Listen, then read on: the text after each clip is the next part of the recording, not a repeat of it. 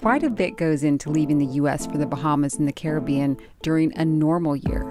And these days, it's a bit more complicated. Of course, the boat has to be ready, fueled up, and stocked up with all the provisions we can carry for months, last minute systems checks on water and electrical systems. Then, when we see a weather window opening, we need to get COVID tests, get the results back so that we can apply for a health visa, so that we can make the crossing of the Gulf Stream, so that we can check in with customs and get our cruising permit so that we can start the clock on our second five day COVID test in the islands and be officially legal to cruise.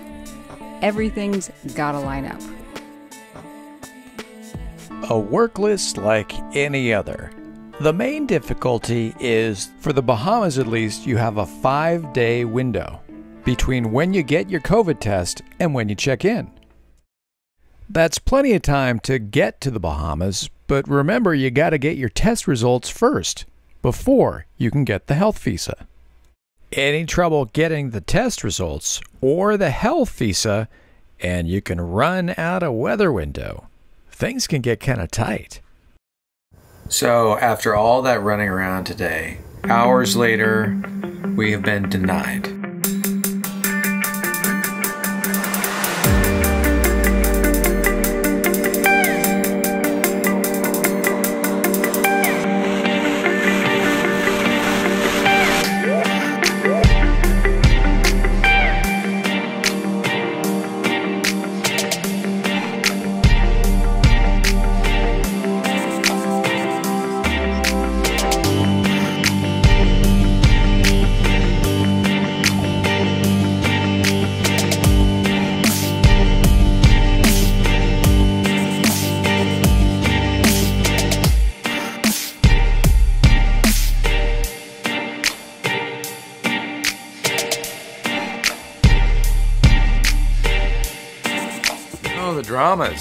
Okay, so we're pretty sure that our camera that we've been waiting three months for has arrived in the area and we think it's going to be delivered to the UPS store. That was the last box we needed to check off before we get some groceries, fuel, and get out of here. We've also got a weather window. And this time of year, those weather windows out to the Bahamas can come every week, sometimes two weeks, or even three weeks. You gotta have the right weather to cross the Gulf Stream to get to a place where you can check in. All right, green light so far, but we're having some challenges getting a quick turn PCR COVID test. And we have to meet up with a nurse or get to the lab. So it's to cost us $500 for two tests. And otherwise, we have to wait till this afternoon, like four or five, for them to come to Riviera Beach. So I think we're about to jump in a car. What do you think? Do we have a car? That's we got a car. They said they're standing by. All right, let's do it. Let's do it. All right, the marathon begins right now. Ready to go to the Bahamas? I want to try. It's all coming together. and we just got notified that our camera has finally arrived. Back that way. Cannot believe it's finally here. It's been a three month wait and it feels really good to know we can go pick it up. We're going to get our PCR test. First time ever in nine months. I hope you pass. This looks totally not legit at all. Well, they're a mobile service, so let's check it out. a whole bunch of different ways of doing it. Yeah. Hi there. Hi. So I've been looking at all these different places to get testing, and the fastest is 24 hours down here in Fort Lauderdale and South Florida. So these guys are definitely the fastest that I've found. One, two, three, four, five. Two sides. One, two, three, four, five. Doing your rapid Accula PCR testing with BlueMed Consultants. Nice. All right. 30 minutes? How was it, Nick? Yeah. 30 minute results. And then you guys Yeah. are heading to the Bahamas. hopefully Yeah. tonight. Right. Yeah. We'll Tickle? see. Yeah, a little painful. Like, yeah. Uh-oh. Here we go. All right, both sides. About a five count. One, two, three, four, five. See? the, the, the anticipation is always Yeah. the worst part. So. Uh, yeah, BlueMed Consultants. If you guys need COVID testing prior to travel, or if anyone's sick or screening in South Florida, uh, we're all ER medical uh, doctors and PAs. Been doing this for a long time, and we have the fastest test results in town. PCR is in 30 minutes, and antigen is in 15 minutes. Uh, we have a CLIA certified laboratory certificate. It's got our results. We are negative. Woohoo! That feels so good. I knew we would be. How's it feel? The stars aligning?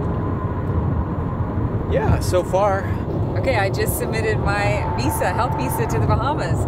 It is officially pending. Now I'm going to do Nick's. We are at the UPS store and the camera is here. Yeah. So let's go get it. Give me that camera. waiting for for. Three months. like- This red battery sticker. Wow. This is what got us in trouble. Now, I see there's a 1-800 number. We could have, somebody could have called and made sure that that was okay for air traffic. Wow.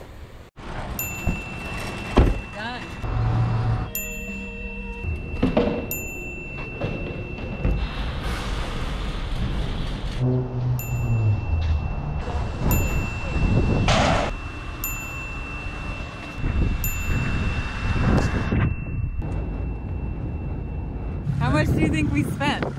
I'd say close to a thousand bucks. I'd say close to a thousand bucks. So now we are almost, we're almost ready to leave the country. We wish you a Merry Christmas and a Happy New Year.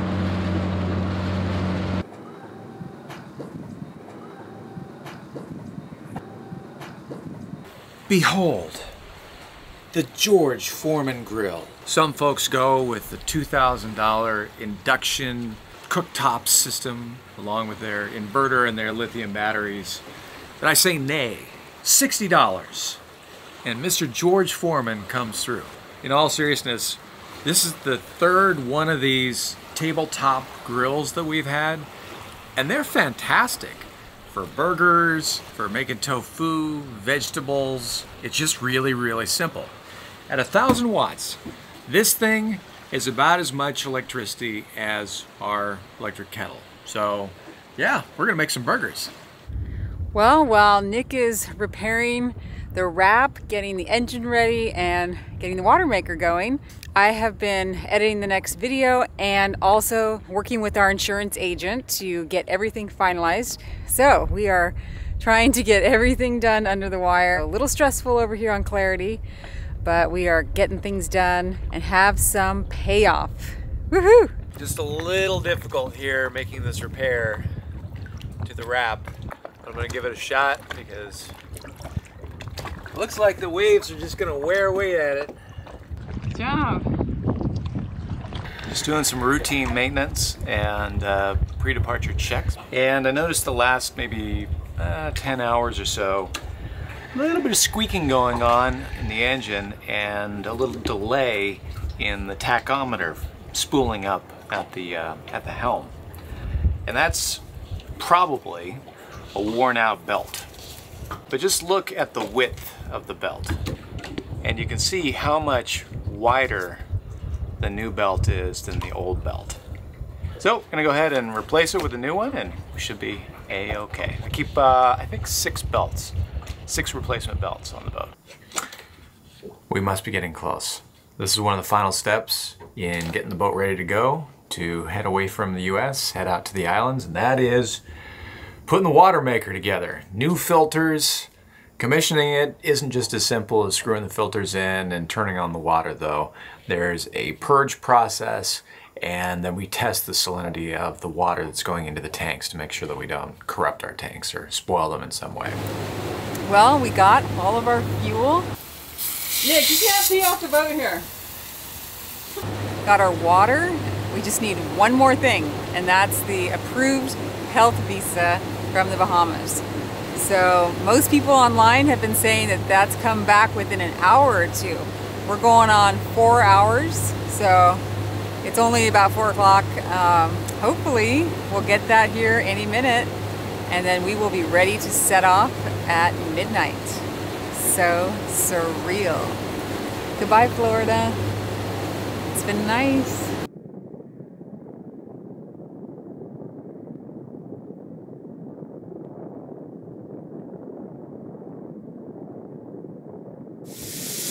Look at this. It makes a perfect one pound of ground beef. Two for you and one for me.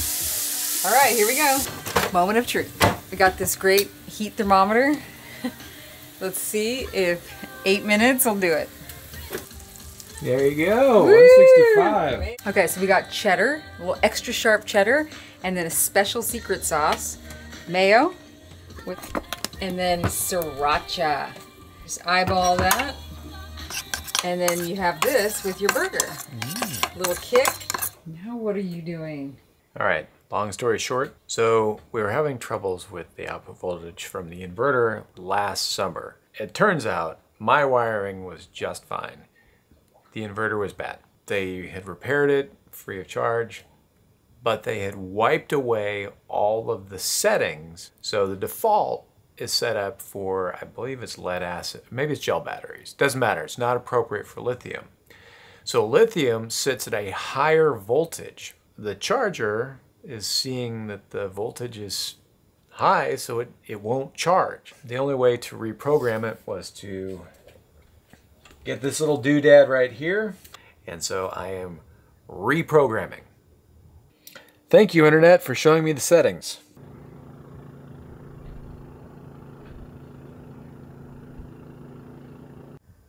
So, after all that running around today, we submitted the travel visa application to the Bahamas immediately.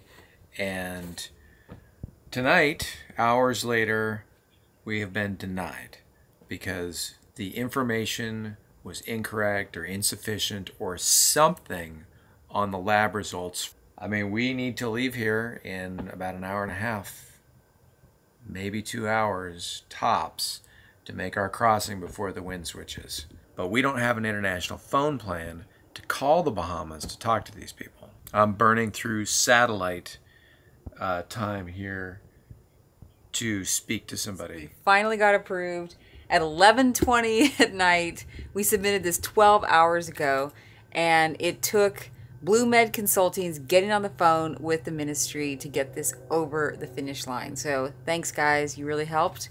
We've been on the edge of our seats all day, and we are finally about to take off.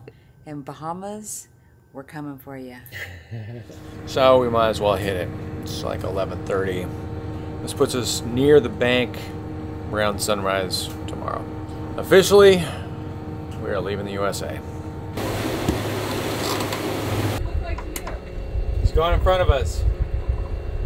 It's 1:15 in the morning, and I am uh, pretty wide awake.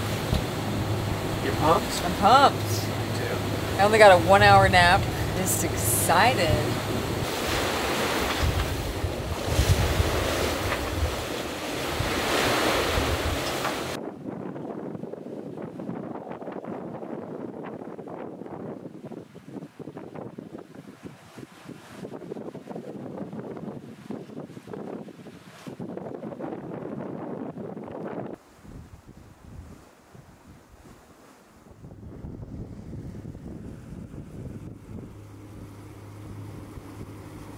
I wonder if there's actually going to be anybody out here this season. I have this really strange feeling that it's going to be Me and you, and, And you, you and and me. me. no matter where we go, it's just you and me. the only two we ever see. is you and me. So happy together. I was just sound asleep, and Nick yelled, He has to get in the water. There's some Sargasso weed around both props now, and he's not able to get them out by reversing.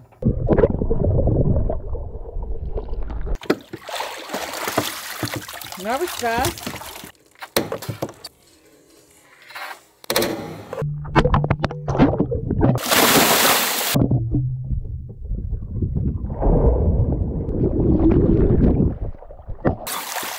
Good job! My god. We made it to Great Sale, and wow, do you hear that? It is so quiet. It's beautiful. We got so lucky. We knew there was a big tree in the middle of the anchorage, and so we're coming in slow, and it just so happened to be about three feet off our starboard. and it would have done some serious damage. That thing was huge. I got to clean out the anchor well because all the mud from the US needs to get ghost. We are in clear sand now. This is the reality of boat life. You got chores. Now, this is my workspace, and it's been really grossing me out lately. There's been no point in cleaning it until we got to clean water.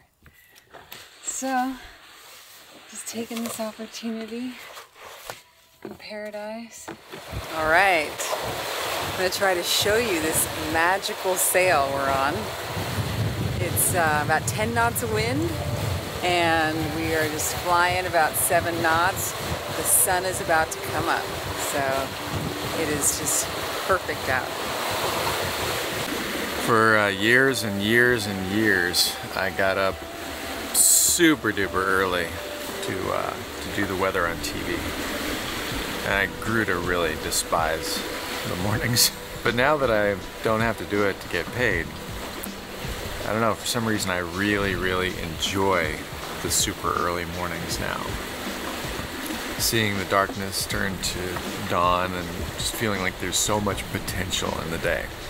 Wow, mornings are really a magical time now.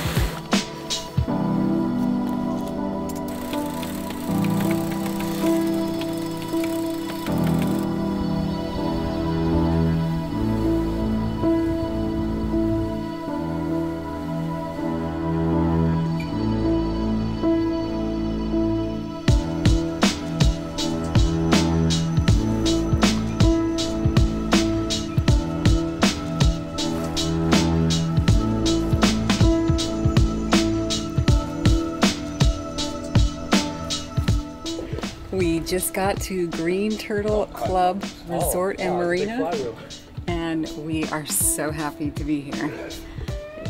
Do I look official? You do. Yeah. Especially the socks and the shoes. Yeah, I think the customs person will be extra impressed by this.